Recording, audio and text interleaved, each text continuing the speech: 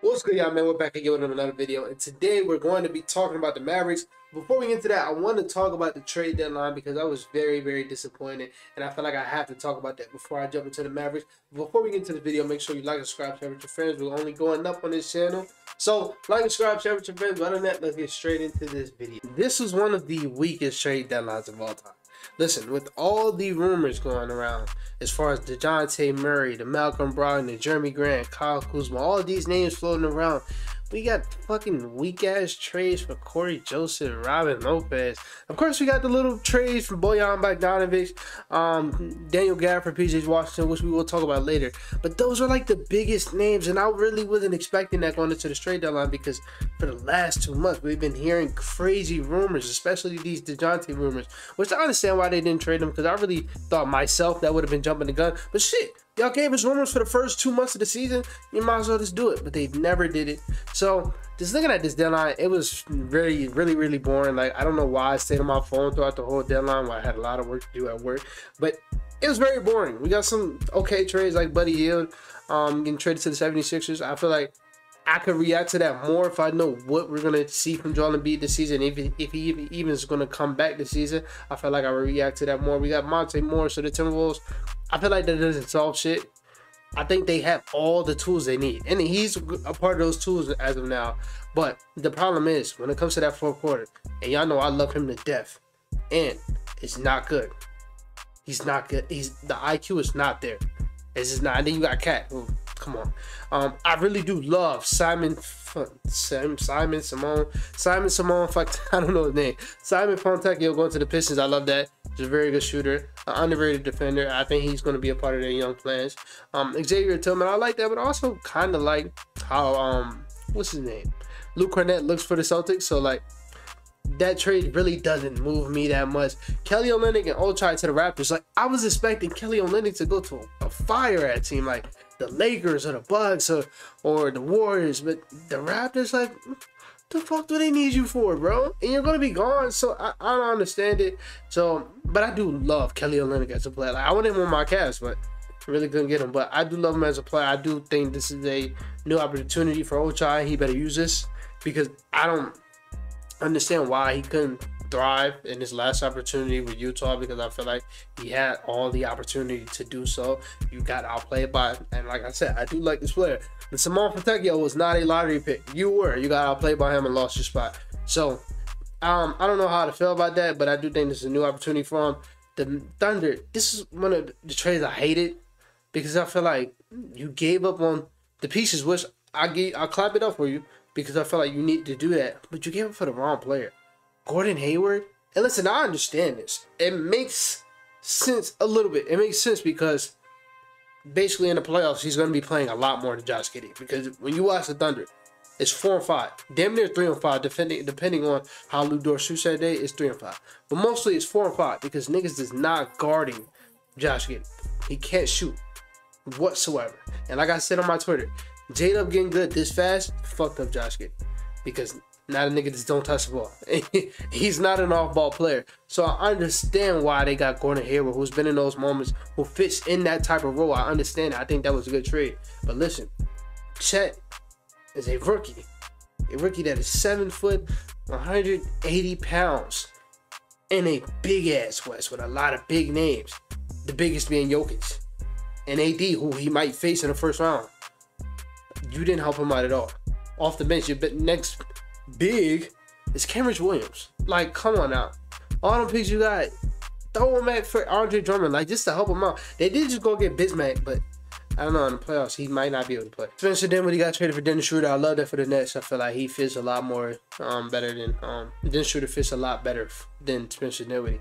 But the reason why I huff and puff when I said this trade because Dennis Schroeder got waived and now he ended up on the Lakers. And now the Lakers have three of the same player, one being very good and that's D'Lo, one being good but okay at times, and that's also reason, and one just being Spencer Dinwiddie. So yeah, the Bucks get Patrick Beverley. I get it. I understand it. I don't think he can change shit over there. Like, like what? They're like the 24th ranked defense. They'll probably go up to the 20th with him. I do think he helps with leadership in our locker room because they never had that type of leader that will get on your ass. And I think Giannis needs that at times. And of course, I think Dame needs that at times because this season it just looks like Dame's been in his own head. So once they pass it up, because they had their little beast in the past, once they pass it up and he's able to talk to him the way you would talk to a bro, once they pass that shit up, I feel like that would be good for them. But I, I was kind of disappointed because they had their names in a lot of rumors Dorian Finney-Smith, who was also supposed to get traded. Lonnie Walker, same thing, and they went out there and got more age to surround around Giannis. If you look at that team, all niggas above 30 that play. And then the only 28 year old is Giannis. Like, I feel bad for Giannis, bro. He is on the team, and I, I don't think they know what they're doing over there. But to the three teams that came up, say three because I feel like one of these was um they got a great package in return for the people they gave up. Obviously, the Knicks getting Bojan and Alec Burks. Listen, that is a huge, huge trade. And to us, I, I don't really know how I would rank them. I'm not gonna lie. I see a lot of people be like, "Oh yeah, they're, they're automatically the second best team in the league in the in the East." I feel like that's disrespectful to us for what we've been doing, but I also feel like, and, but I understand that actually. Before I get on to the next point, I understand that they just beat us, and it looks like they got better. A lot of people don't watch this, so they don't even know who Sam Merrill is and how elite he has been as a shooter. They don't understand how good Max Strus, Georges Niang has been. They don't understand that. So I understand that. But I feel like that's still disrespectful to us, even though they beat us last year. I, I really do feel like that.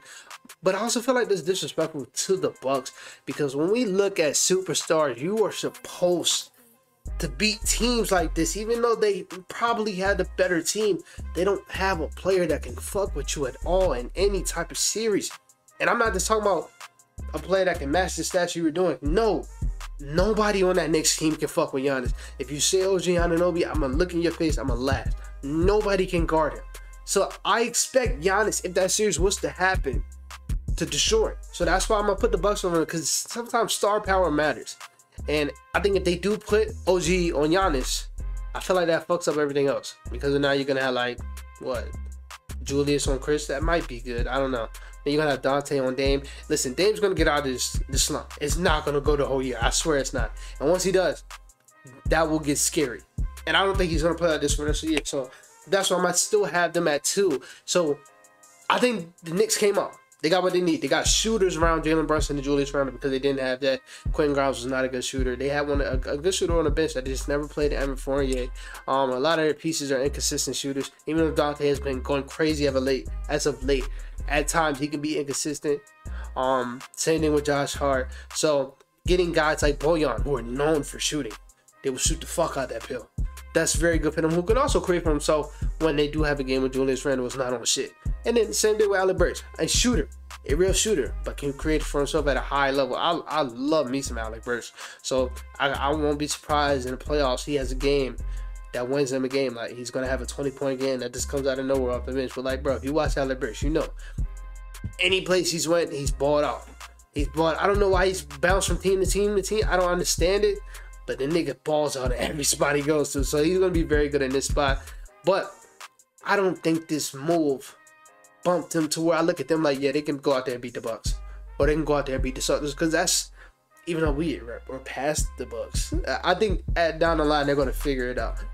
But I I think when you make moves like that, you make a move like that to be a top of the tier team. And I was I still don't think they're that. I think they're in the tier with us. I think the top two is obviously the Bucks and the Celtics. Of course, the Celtics might be on the tier by themselves, but I do think with a player like Giannis, I just have to put them up there. And then having a player also like Dame, I have to put them up there. But I think in that secondary tier, with like borderline contenders, that's where the Knicks fit in, and that's where we fit in. So I think that move solidified themselves in that tier because I didn't know if they were in that tier before. So shout out to them for them making that move. But the reason why the Mavs are by far the winners of this trade deadline is because the moves that they made made me rethink everything I thought when it comes to the West. Listen, before they made these moves, I look at teams like the Suns and I'm like, yeah, Luka can get you that. Look at what I'm saying. Luka can get you that. I look at teams like the Clippers, like Luka can get you that. And this is like this might sound like what's what's the word they say glazing, bro. It's it's fucking Luka. like let's be honest, it's Luka. Look what he's taken to the Western Conference Finals. Look what he's pushed these top tier teams to seven before the trade deadline. I don't give a fuck. He can get you that. He can get you the Clipper series, the the the King series, the Sun series, the teams that's above him. He can give you all those series. It just I don't know if he can beat the Nuggets. This move I'm not gonna lie. They can fuck with the Nuggets. They can. They traded for Daniel Gafford. They traded for PJ Washington. I think PJ Washington is a better player than Grant Williams, and I think he fits perfectly. I think we've never seen a backup. Fuck backup. I'm not gonna lie. Fuck. We've never seen Luka with a center like this. They thought it was JaVale. They thought it could be KP. They tried to mold him into KP being a guy that's a defensive big man, which KP has gotten better than that in the later years. But a defensive big man who can catch lobs and loves to pick and roll. That is not KP's game. That's why that didn't work. I, I love to blame it on Luka just to get my little troll off, but it didn't work because that's not the big that KP needed. Somebody brought up to my attention the other day. With Luka, would you rather have KP or would you rather have Daniel Gafford and PJ Washington? And I didn't think twice. It's Daniel Gafford and PJ Washington because these are the type of bigs that he needs. The guys that can run the pick and roll, know how to run the pick and roll because that's just not KP's game. Guys that can finish above the rim, which they both can do, and with PJ Washington, a guy that can spread the floor and an elite level four big. That is not Grant Williams. So this is this trade to me. I, it's hard to judge them because listen, we see him take these random teams to the second round, the conference finals, and like I don't even realize sometimes these niggas still have Kyrie. I'm not gonna lie. When I watch the team, sometimes I forget they have Kyrie, and Kyrie has been hooping his ass off. They fit together perfectly. This lineup, this team is gonna have a lineup down the line because I do feel like adding Daniel Gafford is gonna be helpful to Dereck Lively so he can kind of learn more. So I wouldn't be surprised if he does go to the bench. So their lineup is going to be Luke Kyrie, Derrick Jones Jr., PJ Washington, Daniel Gafford. To me, the best starting five Luka has ever had. Off the bench, where you have Tim Hardaway Jr., Dereck Lively, Josh Green, Dante Exum, Maxi Kleber. This is the best team they've had, and they they got guys that don't play like a Jaden Hardy who can be a six man on any team in the NBA.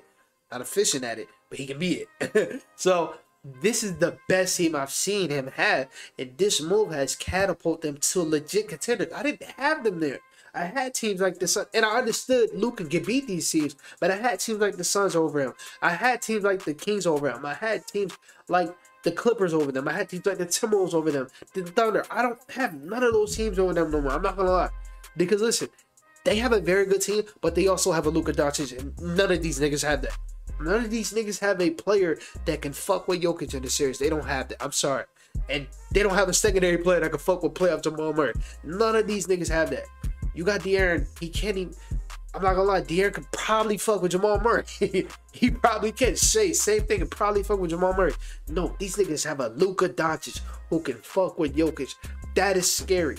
This is why I'm saying they made moves that they needed to make because I feel like they already had the pieces. They just needed a couple more. They made moves that they needed to make. They gave up niggas that don't they don't really care about. They didn't like Grant Williams. They give a fuck about Grant Williams. Seth Curry, my dog, what just too old at this point.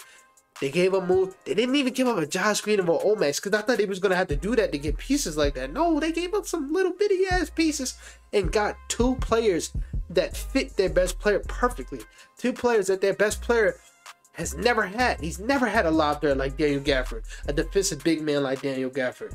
He's never had that. A guy that can play above the rim like Daniel Gafford. He's never had a pick and roll partner like PJ Washington who can pick and roll, pick and pop, who can attack a fucking closeout. Some Grant Williams couldn't also do. He's never had this, bro. So I'm not gonna lie. This team is the second best team in the West. It's gonna take time, of course. Um, take time with the rotations. Is getting their chemistry together. But come time, come, come playoff time, it's scary. I'm not like scared. I don't know why a lot of people had the Knicks. I understand it, but I think you niggas just looking at names. Well, when you think the Knicks won the trade deadline, to me, this shit is so fucking obvious. I'm not gonna lie. And hey, call it my Knicks hate because they beat us. I don't. I don't give a fuck.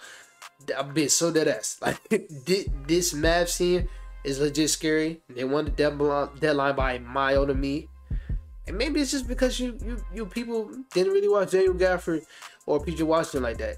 And I don't know why, bro. If you watch basketball, them niggas is like the first niggas that come on. They come on at seven o'clock. At least watch it. I have to watch it. I'm in a DMV, so they're on TV every day. So I watch a lot of Wizards games. I don't know why, but Daniel Gafford has always been very good. He's never had a guard like this that come close to like. Never had a guard come close. He had Russ for that one year in, in, in Washington, but he's never had a Luka. Same thing with PJ. He's had Lamelo, never had a Luka. The only thing that's holding this team back is maybe they're too young for the playoffs. You know, Luka's going to show up, hopefully, because Kyrie in the playoffs has been fluky as a league. You know he's going to show up. So just hope the rest of the squad can show up. But I do think they have a deep ass squad, bro. T- Tim Hardaway Jr. has been very, very good this year. Dante Exum, when he's been healthy, has been very, very good this year. Dereck Lively has been one of the best rookies. He's just been hurt too much. But that's why I feel like Daniel Gafford is going to start this so he can take some of the load pause off of Dereck Lively. Um, Derrick Jones has survived his career again. This team is very good. And again, as a Bills fan, we have this thing that we like to say is um, remember who you have. Basically talking about like we're in our down times when it look like we're gonna lose. We have a Josh Allen. Denver, not, not Denver. Um, Dallas fans, remember who you have. You have a Luka Doncic, who they're kind of the same players. Don't have no MVPs, but it's so obvious though. They're probably the second best player in the world. You know what I'm saying? But anyways, remember who you have. They have a Luka Doncic at any time and any day can fuck with Jokic. And that's essentially what it's going to be when it comes to playoff time. Because listen, we've seen for the last two years in the playoffs. Except actually, I'm bugging. Not last two years. The last, last year, we seen last year. If you can't fuck, if you don't got a player that can fuck with Jokic, you're not gonna win. and none of these teams had a player that can fuck with Jokic. So let's see how this goes, man. Let me know how you feel about this trade deadline. I hated it. I'm not gonna lie, but the Mavs are fucking scary. But other than that, man, I'll see y'all later.